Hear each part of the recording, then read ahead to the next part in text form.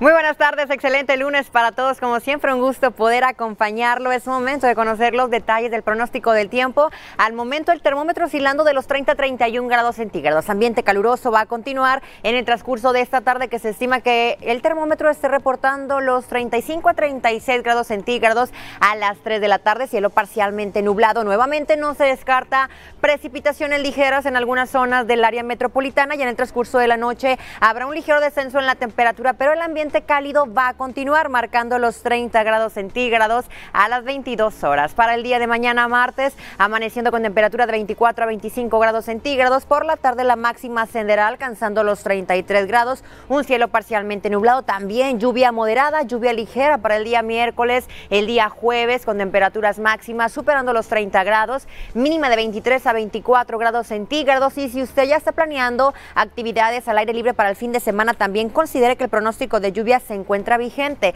Viernes, sábado, temperaturas máximas 29 a 33 grados centígrados y como mínima el termómetro rondando de los 23 a los 24 grados Celsius. Le comento que para el resto del estado estará predominando un cielo de parcialmente nublado a mayormente nublado, también con pronóstico de precipitación como lo estamos viendo en pantalla, allá para el municipio de China alcanzando la máxima a los 37 grados, mínima 27, Linares 38 con 23, allá para el municipio de Lampazos la máxima alcanzando los 36 grados centígrados centígrados, Montemorelos 36,24, un ligero descenso en la temperatura para el municipio de Doctor Arroyo, marcando los 17 grados centígrados en el transcurso de esta noche de lunes. Para el estado de Coahuila también lluvias ligeras, lluvias intermitentes, Ciudad Acuña para esta jornada también para los próximos días, Monclova, Parras, Torreón alcanzando la temperatura máxima los 32 a 34 grados centígrados, marcando los 35 para Piedras Negras con un cielo mayormente nublado, estas mismas condiciones para Saltillo y como lo estamos estamos viendo un ligero descenso en la temperatura, marcando los 20 grados como temperatura mínima,